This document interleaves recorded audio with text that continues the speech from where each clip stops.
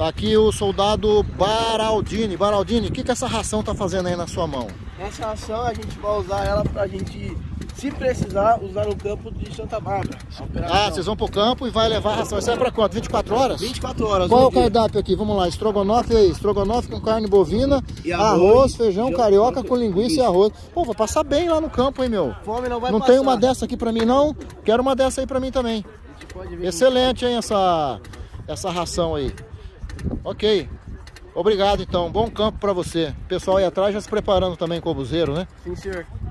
Você vai fazer qual função no acampamento? C... C4, senhor. O que, que é o C4? Soldado primeiro, municiador, senhor. Municiador. Pega a munição e conduz aqui no tubo. Isso, isso mesmo. Mas eu vou fazer, vou ajudar no que for preciso no acampamento. Excelente, é isso daí. União faz a força. Obrigado, guerreiro.